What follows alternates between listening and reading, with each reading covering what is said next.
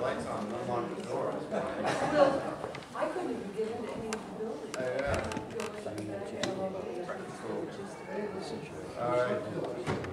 We're going to uh, start the committee of conference on uh, Senate Bill 289. I'd like to, to, uh, you know, speak with, yes? Oh, we should do that. That's a great idea. I would like to salute the flag, if anybody wants to join us. The pledge of allegiance to the flag Of the United States of America and to the republic for which it stands, one nation under God, indivisible, with liberty and justice for all. Thank you so much. Um, At this time, uh, I'd like to uh, get the permission of the committee here to uh, hear real quick uh, from Dave Scanlan and from the clerks. Just, uh, you know, we- we've we've given them uh, this yesterday, I'd like to hear their opinion today, and then we'll start our discussion. I do that because um, Senator Bradley has to be at another place at eight thirty. It'd be good that uh, we get this done while Senator Bradley is here, so get a a full understanding. I would like, rather than uh, David Scanlan start, um, if you could do it quick enough so that we have the time until eight thirty to to hear the clerks as well. Okay. Great, David, thank you very much.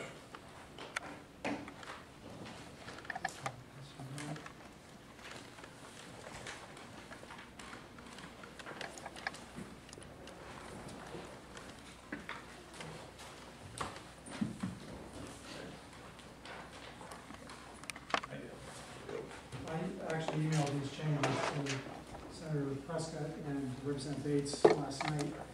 Uh, And they're, I think they're relatively minor, but uh, they, uh, would go a long way in helping make this a little bit more efficient.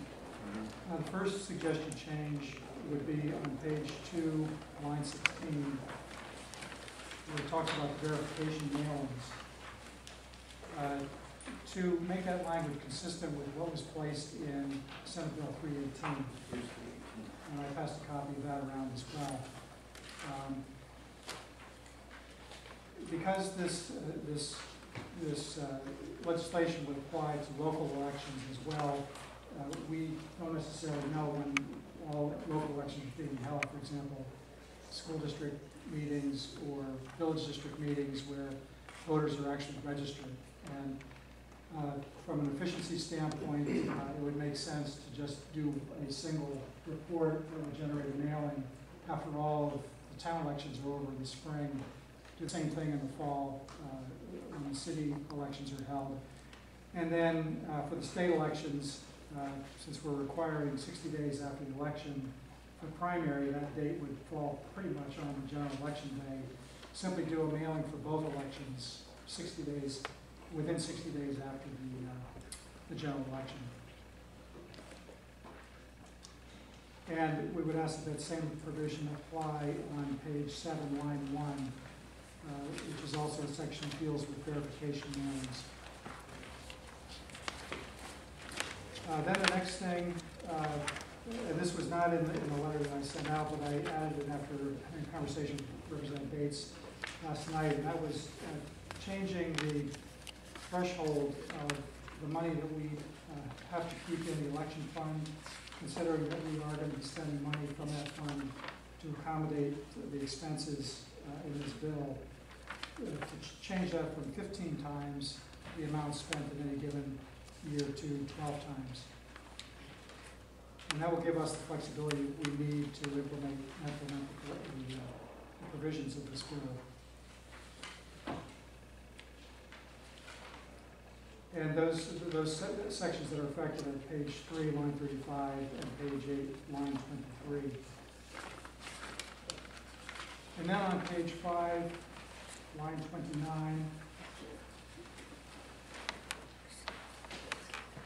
the concern that, that I have here, and I think clerks share this, is that the ballot clerks are, with this language, are given the authority to determine whether a voter is actually qualified to vote or not. And uh, we believe that, I certainly believe that there ought to be a higher authority that can resolve any appeals or disputes over whether a person is qualified vote or not. And in my opinion, that should be the moderator I know the clerks have a, have a- a suggestion that, um, a voter that has an issue with domicile be sent back to the registration table to resolve it with supervisors of the checklist, and that makes perfect sense to me as well.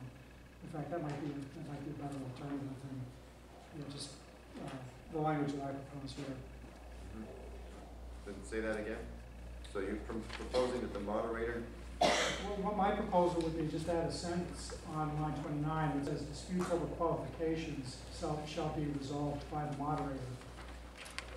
Um, And I think that addresses my immediate concern here, but I know the clerks are going to offer a suggestion that if there's a dispute or, or some issue over a voter's domicile at the check-in table, that they be sent back to the supervisors of the checklist uh, to resolve that issue.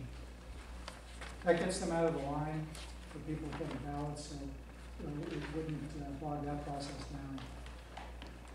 very good, thank you. Would that be added? Uh, I think the clerks have a proposal, and I'll let them mention it. And then the last thing I had was on page seven, line twenty-six, and twenty-nine, through twenty-nine. Uh, there's language in here that would, would, uh, allow us to skip the process of Governor and Council, uh, on purchasing equipment, uh, waive the competitive bid process, uh, and then go to the fiscal committee for, uh, um, you know, funds to, to make purchases. Just so the committee knows, our office already has an exemption for election-related expenses, uh, for that, for that purpose. So the language in here is not necessary, it may actually interfere a little bit with, uh, uh, the process that we currently have. So we would simply ask that those last two sentences be removed. Very good. Are there any questions of the, no? Thank you, David. Thank you. Do have. Yes. Senator Barnes. David, have you heard from any of the moderators? Uh, I heard from one yesterday, The moderators do run the elections. And they do, yeah, They are in charge. yes, Just thought I'd ask. yep, they are. They play a a major role. Very good. Thank you, David. Thank you. Could we uh, hear from the the clerks association? You might want to represent them.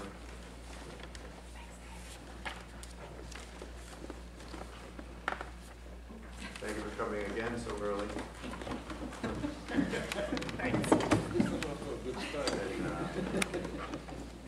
First of all, I'd like to thank the committee for the opportunity to participate in this process. Um, And um, just for everyone's information, uh, late last evening, I did email uh, Senator Prescott um, the concerns that we were able to gather after pulling some of our uh, executive board.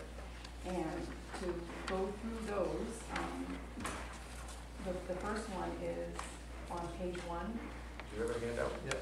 I was gonna. Do I have a handout? I do not have a handout.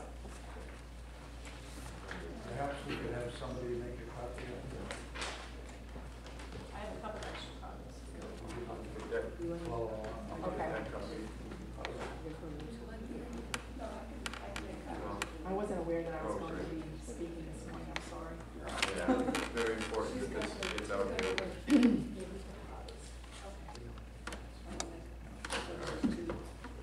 One, one, okay, so I can. Two extra copies there. I'll make copies. Um, while she's making copies, I do have, um, general comments that, um, that, that we'd like to make, and if, if, if you're agreeable to that, it's not contained in, in the copy that, um, because this has been such a, uh, short timetable, we haven't had an opportunity, obviously, to poll all of our membership. Um, but I think it's, it's fair to say that right now we are, um, we are very uncomfortable with the, the latest amendment that came out that, um, pretty much looks like, um, the Senate version would, uh, be implemented for a year, which, um, is a very positive move in that it would provide at least a transition period to allow the election officials to be educated and to allow our voters to be educated that they do need to present a photo ID, and we're not opposed in any way to a photo ID, so I'd like to go on record, um, saying that. However, the, the second part of the bill, lines eight through twenty-six or sixteen, uh, sections eight through sixteen, which appear to be what was, uh, passed by the House, there, there are a number of things in that bill that will cause, um, a very significant impediment to the election process that occurs on election day. Um, and, and I'm, I can go through when she brings the copies back, um, some of the reasons that we believe um, that to be so. Um, we, no one's mentioned absentee ballots in any of the discussion that this, this has heard, and, and frankly, that, that is an opportunity for voter fraud. And we believe that if we create an impediment to the voters and a discouragement to them and a frustration and, and hold up the lines, that that is going to push more and more people into voting absentee ballots, and I don't think that's where the goal of, of anyone in this room. Um, domicile has been brought into this picture of photo ID, and again, we're definitely, we're not opposed to photo ID, but bringing in, um, a whole separate issue of someone having to, at an election, prove their domicile if they have moved within a ward seems to be, um, not the best workable approach. The DMV, they've already gone through and, and changed their domicile, they've brought their utility bills or their lease agreements or whatever, and they've proved their new residence before they're allowed to register the car. DMV records, their, the database and the voter database records do not communicate with each other. And there's no mechanism in place in this state for people who move from one place to another in their own town to send in a form to the supervisors of the checklist advising them that they have changed their address. So to, when you, when you're having a major state election, to now require them to bring proof of their new domicile, especially when they're not aware that that's going to be happening, is, is going to be, um, a significant, uh, disenfranchise, I believe, to the voters, and the, it's going to require tremendous, uh, clerical or effort on, on the part of the election officials to now look at all those documents and see if, in fact, they do prove their new domicile, and then to have them fill out a domicile affidavit if they don't have it, and then to change the records. And I think that, that while Dave mentioned that we did have a solution to get them out of the line, even still, I do think that with all of the photo ID requirements, that adding domicile change to the photo ID law may not be, um, the best approach. Um, the, we, we looked at, the, the second part of the bill brings in photo equipment, and there was discussion here yesterday about Tennessee, where with, after their, I forget how many votes were cast in Tennessee, six hundred and twenty-five thousand, there were 285 voters who didn't present a photo ID. We have three hundred and thirty, um, wards in this state, and it, it seems that perhaps some consideration should be given to the advisory committee that has been established, that they may be able to, before you automatically go through the expense, and the, again, it's an impediment to the election process, it's an extra step that's required of election officials and the voters, that, that perhaps some evaluation in the future be, um, assigned to that advisory committee to look at whether in fact photo equipment really is necessary. I mean, it's, it's possible that, that the education of our voters and our election officials might achieve a, a good photo ID system without have, having to have the photo equipment. Um, do, you- do you have the copies now? Yes. Okay, so page one, line twenty-seven. Um, our suggestion is, is to change that language to be consistent with page six, line thirty, and that is to include driver's license of other states and federal government in both processes, the transition process and then the final, um, photo ID process. This is what, um, uh, Dave Scanlan was alluding to. Our initial suggestion was to get those people, if they, if their domiciles are different within their town, to get them out of the line so that they're not holding up the, you know, the hundreds that are behind them to haul out their utility bills or whatever it is they need to prove their address, to get them out and to go to the supervisors of the checklist. This is for two reasons. Ballot clerks statutorily do not have any authority to determine whether a voter is, has qualified domicile. Supervisors of the checklist, it rests with them. And it, and then it's going to speed up the line. But again, our, our ultimate, after thinking about this overnight, is, is I think we would urge serious consideration be given to just removing the new domicile requirement out of the photo ID bill. Um, page six, line nine, we have a question. It says, if the voter does not desire to execute a qualified voter affidavit, what then? Are they, are they then therefore forfeiting their voter rights? So that's, that's just a question that I think we need to think about. Page nine, line fourteen. Um, This is changing it because, as Dave alluded, the clerks are not the town clerks. City clerks are. City clerks serve as the, the chief election official. In towns, it's the moderator. The moderator is the chief election official. And um, this, this language um, would correct uh, erroneously placing the um, duty of the clerk to determine if someone is qualified to vote. It would just simply say the clerk um, affirms that the person appears on the checklist. That determination has already been made by the supervisor of the checklist. And we did note, these are just, I believe, oversight technical issues, but nowhere in the legislation could we find where it stated that the ballot clerk shall mark, shall mark the checklist that the voter presented a qualified voter affidavit in lieu of a photo ID. Yet, um, the, the, um, person, it says the person, and, that's the supervisors of the checklist who enter the information into the statewide database. They must enter this into the information into the statewide voter database, and they utilize the marked checklist when they enter the election in the database. So I think there needs to be something in the legislation that would, that says that the ballot clerks must mark the checklist if they're presented with a qualified voter affidavit, if in fact you wanna keep track of that. And, and, um, it also says that at the end of the election, the ballot clerks must count how many voters did not present a valid photo ID. Again, this goes back to the checklist, what are they going to count? Um, if, if they, if there's a place to mark on the checklist, if they were presented with a qualified voter affidavit, they would then be able to count that. Uh, page ten, line twenty-eight thirty, um, it, it's just a consistency. It, um, to delete one of the lines, making the sig- signature of one election official be sufficient. This is just an effort to make the election process be more efficient. Everyone is going to be very, very busy with lots of new duties, and it would be good if just one, the moderator who's taking the photo, if that's really where we go, or he's overseeing the execution of a challenge voter affidavit that the moderator, um, could sign. Um, and I, I wanted to just give you an example, um, of, of a, one of the, in the first version, the Senate version, election officials are given the discretion, if someone comes into their polling place without a photo ID, to, um, if they're well, you know, known to them, just to allow them to vote by saying, yes, I know that you're, you know, Mr. Mrs. Jones.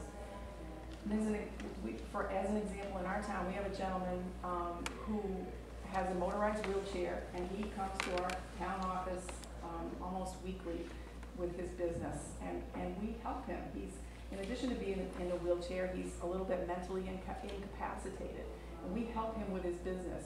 And I can clearly envision him, he, he drives his wheelchair to the, to the election, he does that, and he votes he may very well come in without his photo ID.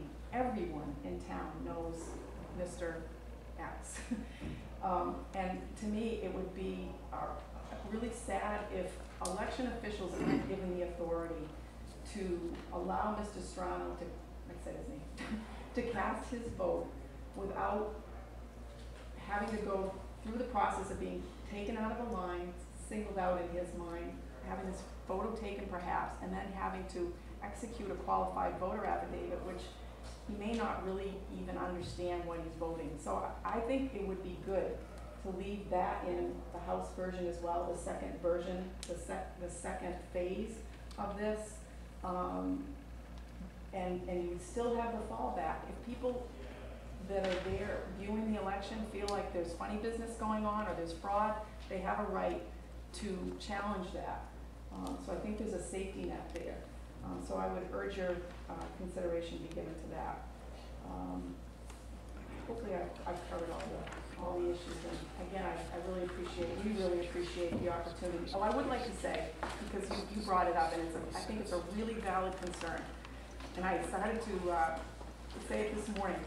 Basically, right now, these are really huge, huge changes, huge changes that are happening for our New Hampshire election process.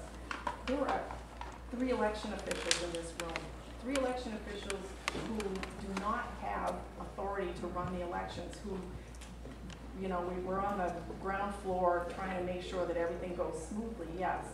But the moderators, the ballot clerks, the ballot clerks who are the fabric, I believe, of the election process in New Hampshire, they're people that come in once or twice a year to perform a community service. They're not highly trained election officials, and this would be putting huge amounts of responsibility on them, discouraging them from continuing to participate, and also putting clerks in a position where we have to choose people who may be more qualified to carry out a higher level of responsibilities.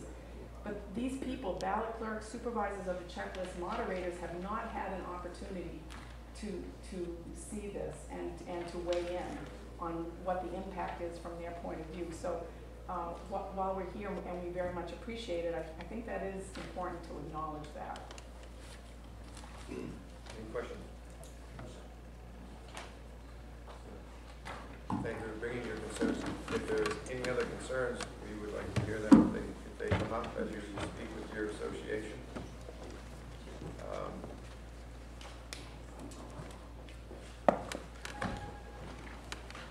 Where would you like to begin in terms of, what what would you like to accomplish in the next few minutes to to move this forward to, uh, try and, and keep the collaboration going. Right? So, I, I, I'd like us to iron out whatever changes we need to make to the language so we can sign the, uh, the agreement. so, Four o'clock's not too far away. that's right. So the Secretary of State brought forward some really clean changes that need to be done. Um, Are we in agreement that we would, we take care of those? We agree with all those. Yes. Do the, do we, I've said it many times, if we, if we stick this, stick to this bill being a photo identification bill rather than a uh, verification of person's domicile, we're sticking to what the bill's title is.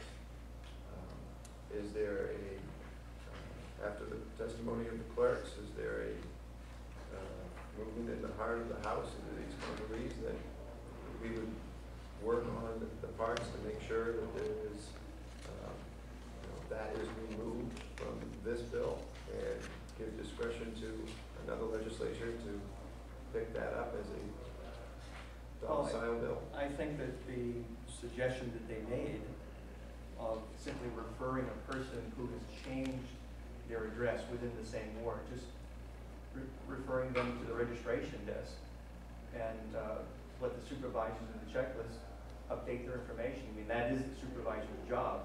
It won't cause any great impediment to the process. And, and we're just asking, you know, the whole effort here is to treat everyone the same. And everyone else who has changed their address typically goes to the town clerk and, and presents evidence of their new domicile, and that's updated on the checklist by the supervisors. And we're just asking anyone who has failed to do that to do the same thing on election day if they, you know, haven't done it by then.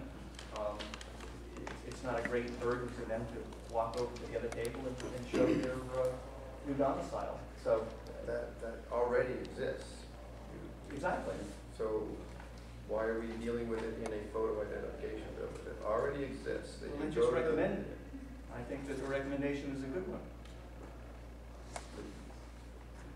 Uh, Could we have a clarification? Um, Yes, uh, we, we, we recommended that the domicile requirement be removed from the bill because there is already in place, um, when they confirm their address with the ballot clerk, if their address within the ward has changed, the, the law states now that the ballot clerk simply draw a red line through their address, write the new address on it. Then the supervisors of the checklist following the election, when they're entering the results of the marked checklist, they correct their address at that point. So it's a very smooth process. There is currently absolutely no ability for a voter to change their address. They've done it with the town clerk for DMV purposes or dog license purposes. Those don't connect to the supervisors of the checklist and the voter checklist. They may have changed their address six or eight months ago within the town, but there's, that does not get to the voter checklist. And the way that the legislation is written currently works because if they come, when they check in, if their address within their ward is different, the ballot clerk simply draw a red line through it, write their new address on it. At the end of the election, the supervisors record that in the voter database. That's how it gets updated now. They're not having to prove anything, get out of line, stand in another line where other people are already standing to do multiple tasks and prove their domicile and then get back in line and vote. So I, I'm I sorry if I understand didn't the make pro- that clear. No, I, I understand the process perfectly. If somebody came in prior to the election day and wanted to update their address, that they moved, would you just cross it out and write in the new address? No. If they came in and filled out a new voter registration card and asked for that to go to the supervisors of the checklist, yes, that does not happen.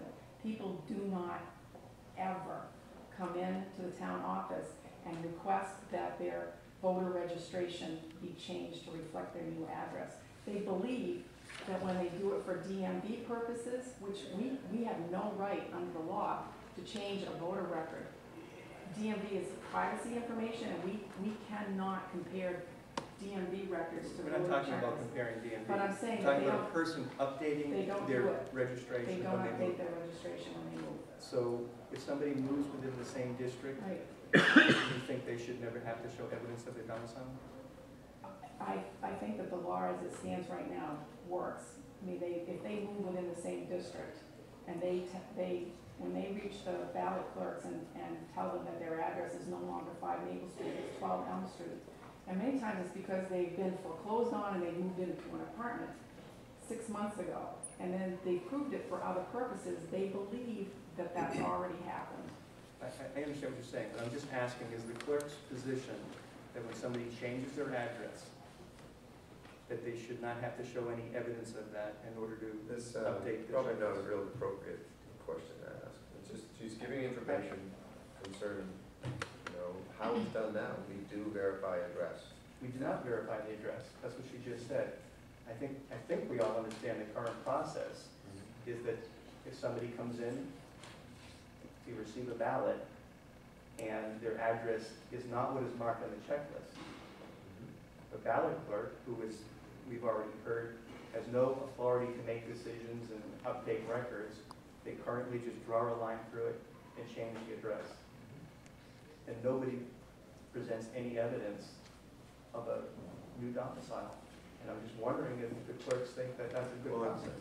Ask me what they think, just ask a specific question. You raise your hand, you want to answer. I have a sol- a solution, suggested solution, that, I'm separate from this, that when someone does change their address from the, within the town for other purposes, that there, there could be a statute that allows that address, or them to, at that point in time, to require them to also fill out a change if they're on the voter checklist.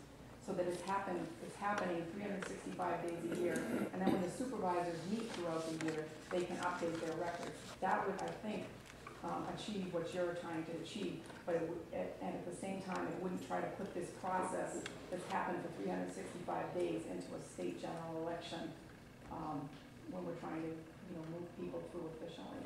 Yes? As far as that goes, as far as the registration on election day, the thing of it is, they're moving within the city, in a city ward or within the town. The supervisors of the checklist duty usually on election day are registering new voters in that city or that town. So basically, where they've already been qualified as a voter in that city or town, the ballot clerks on election day have been given the authority to cross out the name and write the new address, and then it's up to the supervisors at that point in time, once the election is done, to go ahead to either go ahead and just update it, but if they have questions, then they can send out a thirty-day letter to that individual. in lieu of having them go out of line, join the people now that are registering as first-time voters in that ward or in that town, in lieu of, in waiting in that line and going back in that line to vote. That's a really good point. There is a, there is a thirty-day letter process that the supervisors could send out, and if it doesn't come back, or if it comes back as undeliverable, then that gives them reason to, um, you know, that causes, that Right. questions the address. And And But that happens following an election. Senator Barnes has a question. Yeah, you mentioned earlier this gentleman from Newmarket, who everybody knows. Yeah, What we have here, how would he handle if he doesn't have his registration? his, his photo ID, Photo ID, he, well, during the first year, we, we'd allow him to vote. okay? For the second year, he would have to be, um, taken out of line and go have a photo taken.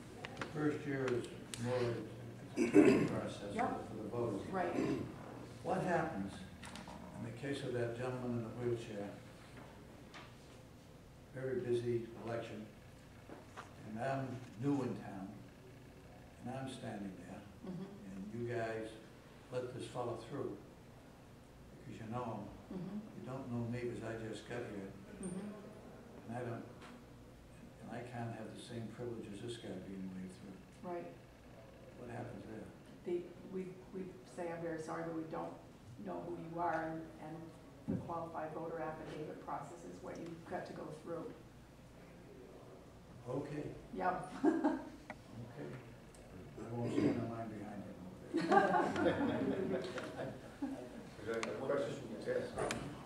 you have an idea of how many people you're referring to in a, in a general election who changed their address in town? Are we talking tens, hundreds? What, what, what Um, kinds of, of numbers of people? do you think? We have, um, about five thousand people on our checklist, and I would guesstimate that there may be, um, twenty that have changed addresses. That might be on the high side, but I'll estimate it on the high side for the sake of argument. Yes? Next Thank you, question. Yeah. Um, this gentleman, this year, wouldn't have to show anything. Right. And you could inform him and say, and you have said that you would help him when he Right. comes in and he sees you every week. Right. And, and uh, it- it's something that you're, it's an individual thing with him. Do you think that within a year, he might be able to get No, I an don't. ID? We help them with the same thing. It's the same, okay. All right, thank you.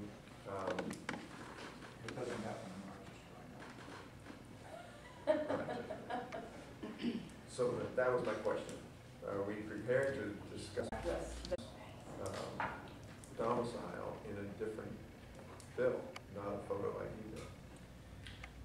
Well, I, I, I still think that what they propose here in writing to uh, direct the voter to proceed to the supervisor of the checklist would be a satisfactory solution to it.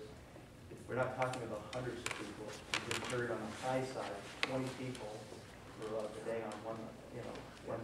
And how many It's clerks not have as- you, how many clerks have you spoken to and said we don't yet add this responsibility to you? And You, you didn't draft the bill, right? You didn't work with people to, to draft the bill. And now, when the bill is, is, you know, in a committee conference in the last day, you're suggesting that we don't look at the title of photo identification, we talk about domicile. This is a, a sticking point. You did not have a public hearing in, uh, January of this year concerning domicile you had a public hearing it came to the House in March about photo identification. It's really off track, and it's, it's misplaced good intentions, and it's, it, it will cause disenfranchisement of twenty people in every town of this state. And that's just for five thousand, you know, people on the checklist. I don't think it's appropriate. Well, let, me just respond to what you said. Sure. Okay, first of all, had multiple hearings on domicile. We had, we had multiple hearings on this bill, including the amendment that had the language in that we're discussing right now. These issues were raised. The amendment that the House held public hearings on, voted and passed and sent to the Senate. um, Three weeks ago, has been out there. And when we sat with you these three ladies representing the Clerks Association yesterday afternoon, this was in the document that everybody was aware of, that we thought we'd come to an understanding of how we were gonna uh, agree. Um, And, and I think we, print- we have a, And that was concerning the, the narrowing of the valid ID. Right. That was the meeting this morning, yesterday morning. That was the meeting. and that the House version of the bill would be implemented after a year. So, I- again, you know, this, this doesn't have to be an issue that um, the entire bill unravels over. I think what they proposed would be a a satisfactory solution. Um, If you're prepared to walk away over that, I- it's, it's not worth letting this whole thing fall apart. Um, It's a very simple, Well, let me explain to you. We have, we have student IDs taken off the list, which is where the House wants to be. And I agree with you. We should not let it unravel over this, and you need to yield. And you've gotten the If it- photo identifier, you've gotten, you've gotten your, your. if uh, this, you don't have to continue. If this is the only point that you feel that we need to yield over, that's fine. Yeah. I'm gonna. We're, we we're in agreement. Have a ten-minute recess. Sounds great. I think we should take a ten-minute recess. Before you, before you recess, Yeah, we agree with everything the Secretary of State said. yeah. We agree with um, the, uh, I- I think the entire amendment that you presented to us yesterday, we're, we're- we're fine with that. We're prepared to sign that. And with the changes the Secretary of State has um, suggested, if, uh, the only other thing we need to do is eliminate the language about the updating. I think it's a mistake, I think it's unnecessary, but um, I think this legislation can move ahead without it. One other- one other comment. Sure. about it. One more, one more second, Jack. It's independent of, of what, just a comment on the, we already have two processes underway, a, a, a motor, reg- a a Sabia registration process as well. And, and, and that has, of course, naturally brings in some complexities into the, into the effort. The concern is that the photo ID bill is about addressing potential fraud situations, and this is a significant fraud potential situation where you could disenfranchise the person who actually is, has, lives in that place that is now being changed without any documentation. So that is the reason why we have a reluctance to do that. Uh, As, as our leader here has said, it's not a, it's not a, if you felt strongly that we should leave that, that opening, uh, then, then we, we, we would, we would agree. So It's when for another day. to agree to, before we for another day. agreements about? It is for another day. Well, One last point, I again want to emphasize that neither in that scenario nor any other conceivable scenario will anybody be disenfranchised with this legislation in place. So it, it- at most, somebody's experienced some minor inconvenience, but they're not disenfranchised. So with that, I'm not sure if there's a- a need to recess. No, it isn't. So if we can, um, So that Agree. was, we can agree that the amendment that you drafted yesterday with the corrections the Secretary of State has offered and removing of that process to update a person's domicile, I think we'll be in agreement. and then we have, uh, has the, uh, page one, line twenty-seven. Include the driver's license of states and federal government. That's fine. And then, uh, page five, line twenty-two to twenty-nine, What are you, uh, what are you referring to now? uh, This is the section the clerk, uh, The clerk. the paper the clerk us. And therefore, pretty much we've decided that we're, we're going to, rather than adopt language, we're gonna remove, You're gonna leave the current procedure in place with it, yeah. cross it off and update it. And on page six, line nine, conversation was, um, change the language to ensure that the statutory determination of who can be added to a voter checklist remains with the supervisors of the checklist and not the town clerk. That is the language that, uh, Which line is this? page nine, line fourteen. We thought we were on page six. I'm sorry, page six, line nine, sorry. I I skipped one. Line If nine. the, if the, if the voter does not desire to execute a qualified voter affidavit, are they then therefore forfeiting their voting rights? There's a, there's just a nuance of how the wording is between the Senate version and the House version. The Senate version is a requirement that they fill out, and then yours is a desire. You have to point me to it, I'm not finding what you're, All right, uh, word page desire. six, line nine, yes, there's a word in there called desires. right. that the voter desires. I think in the, in the Senate version, it's, it's a little bit more straightforward rather than the word desires. What is it? Um, Let me see how the Senate version may, Would you, would you would you like to just say if the voter executes a qualified paper, voter affidavit? Rather than desires to? Um, I I would, I would just try and look at where that same language is Yeah. in the, pr- in the, in the first year and see if that is. um, Where that is, okay.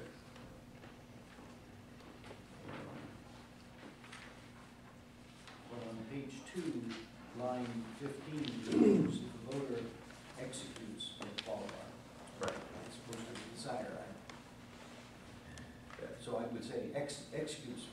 Right. That's So you just want to get rid of If desire. the Yeah, voter we- we wanna- executes, Yeah, takes out the words desire to and makes it executes.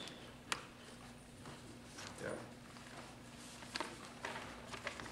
Just a That's simple acceptable as tweak well. of, tweak of language, that's what it is. Those are the questions that the clerks had. Yeah. Um, now, page nine, line fourteen.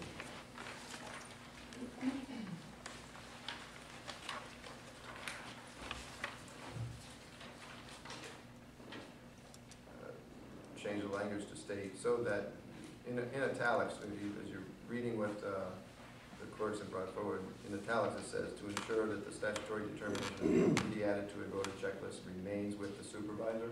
Try me again, what the checklist. page? Nine, page, line fourteen.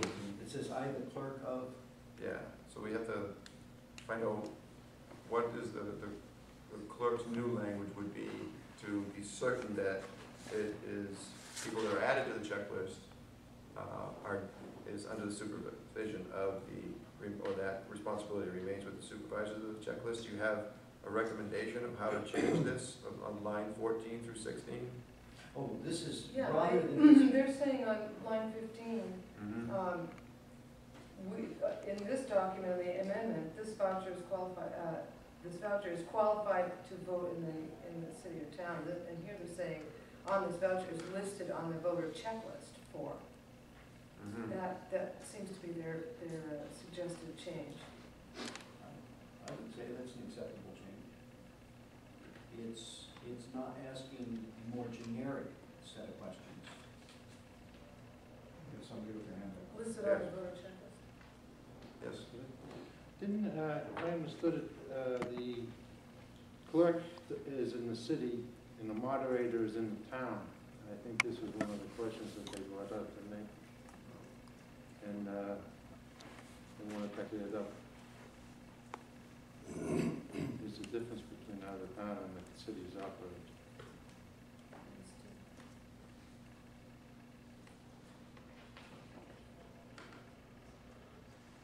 I don't know if that's the case.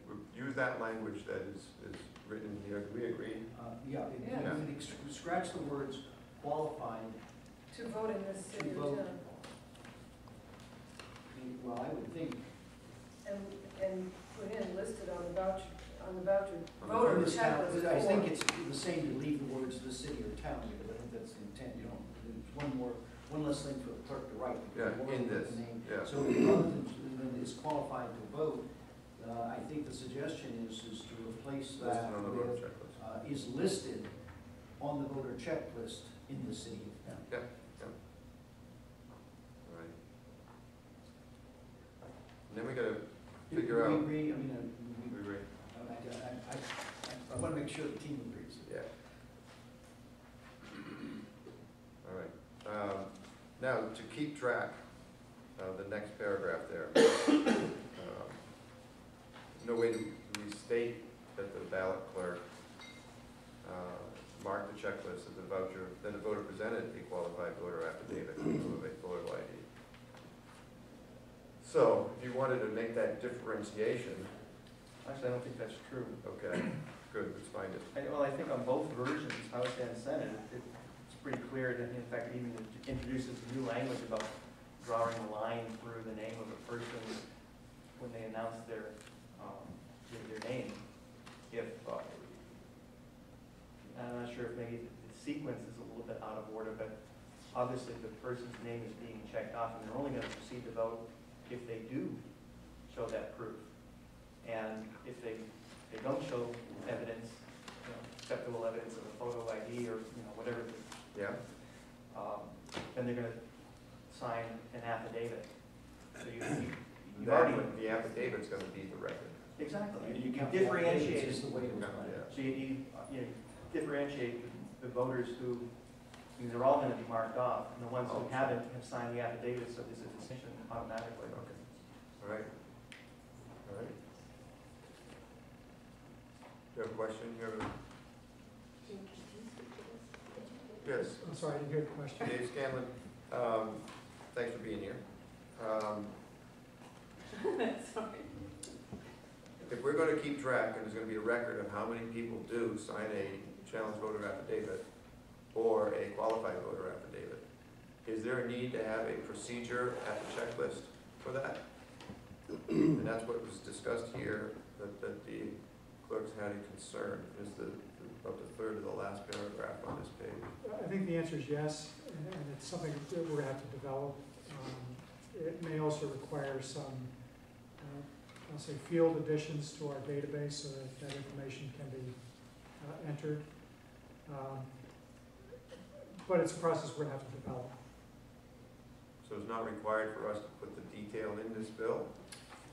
Um, I think it, it- uh, it probably ought to have some language in there that would give us the flexibility to deal with it, and then once, you know, once we come up with that process, we can, we can put it in statute and if we. I just want to point out, on page six, line eighteen, it says, uh, line twenty-one, the person entering voter information, centralized voter registration database shall cause records to indicate when a voter has not presented a valid photo identification and has executed a qualified voter affidavit. So obviously, you know, the HAVA office is gonna have to add that field, and the supervisors, when they update the information, just as you, you have that now for somebody that doesn't uh, show a photo ID, they're already flagged now. We're just, you know, going to be uh, flagging these individuals. It'll involve updating the, the database uh, And what is there? with additional fields, and that was part of the reason that we originally agreed to defer things, to give them the time at the HAVA office to do that. So I, I think it's, the legislation covers it. They may have to, you know, work behind the scenes to work out the process, but it, Was that a question? having looked at that, do you think that there's need to make further change to the language?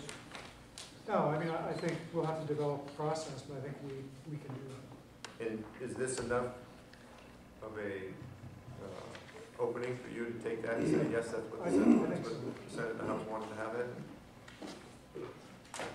Because we'll, we'll be happy to adjust the words if that were necessary. Right. I mean,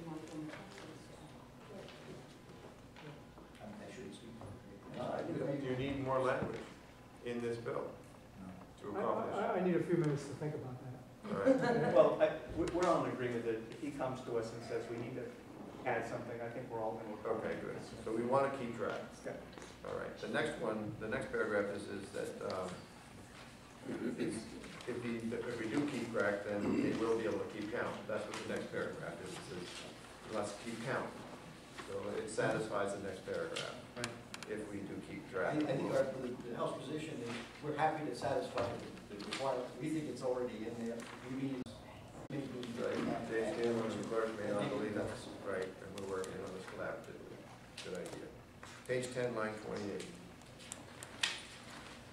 Let me state the reason we had to was that we thought this was an extraordinarily unusual case, uh, that, uh, this is, uh, very few religions have this, I'm aware of some in, in, uh, East, and I'm aware of some in uh, Polynesia, and in some parts of, uh, and more, probably most appropriately for the United States, is some Indians uh.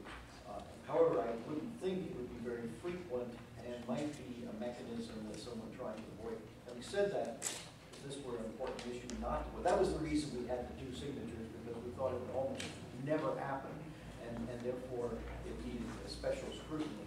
But uh, Recommendation of your town moderator, wasn't it? it was my, yeah, my, my town moderator specifically pointed out that, but I'm, I'm not wedded to it. Right, does that mean? we- That was based on input. I get you. Are we gonna eliminate all of lines twenty-eight through thirty-one, or just eliminate the, the second signature? or- What page? Oh, oh, I think it was just the second signature was the question. All right, so page ten, Just like, name of, we'll just change it, name of election official, officer, or do we change it to, um, Moderator, moderator which was a suggested. or supervisor of the check? Election officer, I believe, includes Okay, the, all the people who might, we might want to have signed. So if we just change, uh, on line twenty-nine, cross out first, Yep. and then cross out the whole line, name of second, right, uh, and then on line thirty, looks like thirty-one, signature of election officer, and then Right. take out the whole thing. eliminate signature of second election Get officer. rid of the second, so the second person You got it, okay. All right, we will take a, uh, take a little recess. Did you want to discuss the education thing, putting them into one? Yes, um, if you could present that for me, Tom. Basically, in Senator Prescott's amendment that I think you sent out uh, night before last, basically had the House and the Senate versions education portions in one three-paragraph section. We could do that and put it in the first part of the bill. It becomes effective on passage, then there doesn't need to be a second education component that goes into effect when the House. Yeah, we'd rather have the same education component be done once. You want us to just look at this while we're, Or in maybe the caucus and recess and, Yeah. and, uh, if you're- planning to take one anyway, that, that would be fine. I Um, I would say we we would reconvene at nine thirty. Can I, can Dave have an answer for us on that question? Maybe Dave has an answer then, but I don't know if that's important, because we're just gonna, the committee agrees that we'll put that into the bill when we do the I think we would need no more than ten minutes. We have other things to do, obviously, resource. Well, uh, yeah, because uh, Senator Barnes, he wanted a little bit more time to to converse with different people. Certainly, Mr. Chairman, whatever you say. Who am I Okay, I think I understand. Nine thirty? before you go, Yeah. you, you, um, you've asked for opinions of everyone except us. And there's uh, a couple of changes that I think, in the interest of what you mentioned yesterday, consolidating, and making it a cleaner bill. uh, Don't be offended, David, sorry. Uh, that's, that's, Dave doesn't, you, you, you couldn't possibly have Dave's said. a straight. Um, Section ten is redundant of section three, it could very easily be moved. Secretary of State's already talked about adjusting, um, the, I'm, s- no, section ten. Page eight, line fourteen through twenty-four, I think we can move that over to where section three is and just eliminate this. Representative Bates, I think the only issue was RSA six fifty-nine thirteen five. I don't know if it exists until your portion goes in. At least that was So according is to, that why still? that's, at least according to the drafter, the reason we needed it twice. And, and, um, what about section eleven? That's redundant for section four. I don't think there's any reason why that can't be Yeah, put in. I think that's true. Chair, I, I- that, that is. Did you get that? Uh, yeah, uh, On page eight, Yeah. uh, uh, line twenty-five, the advantage of of moving these, of combining these sections, which I think it clearer, uh, it also provides a definition of a voucher as specified by the Senate version. So it may be in your interest to do that, uh, unless you would want the voucher to be defined by some other process. There's no reason for that to change. And, and, and, and- and it would seem to be a training problem if it were different. So you might want, we should consider that in, in, in, Well, I think it's important that We we think it's a. conclude that now. Construct- So explain it one more time, and I think Well- that Jack Barnes can pick up on it really quick. Section eleven is section, and section four both deal with the identification card voucher. Okay, yeah.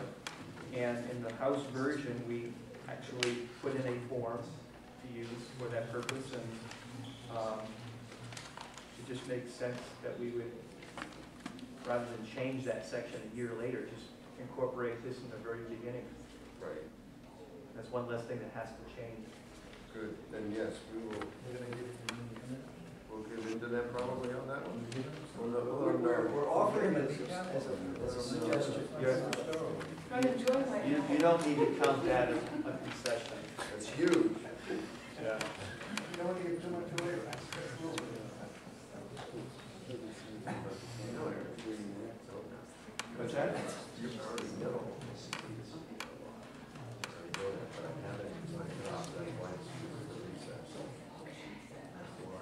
Because if this collaboration breaks down, we have a problem. We're ready to sign it based upon what we've talked about so far. If there's no further changes, we have an agreement. Yes. So all seven people are gonna sign up. Yeah, and we'll, we'll make that final, I will make that final decision, right, in a while. Excellent. If you wanna keep talking, it'll be a while after that. Oh, I think we better get it practice. What time? But I don't know if everything is cool, I don't know if everything is cool. You want us back to it, nine thirty?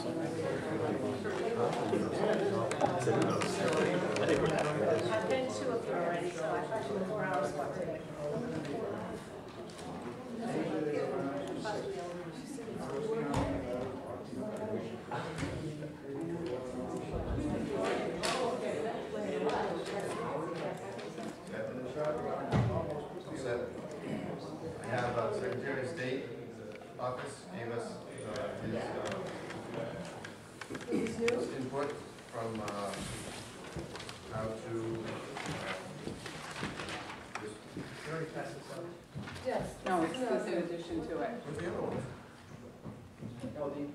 He added something. Is I think this- is what the. Okay, hold on, Page six ah, yes, yes, there are additions pages.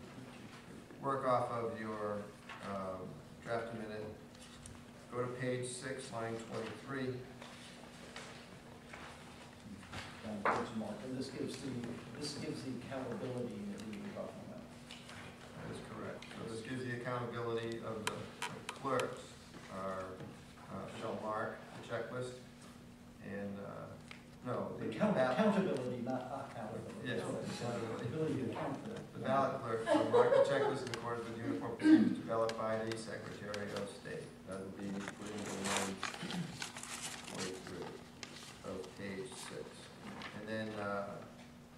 page six, line one, he wants to insert the ballot clerk shall mark the checklist in accordance with uniform procedures developed by the Secretary of State after such entries. Okay, we're all set.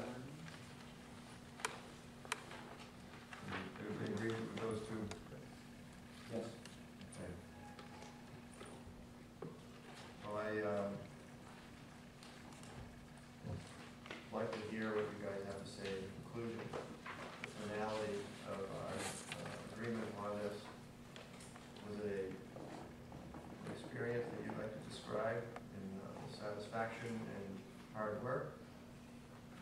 I appreciate some input. Well, is a, certainly an experience. Lots of hard work and many, uh, on some occasions, it seemed like we were at insurmountable impasses, but you've, uh, you've done a good job bringing it all together.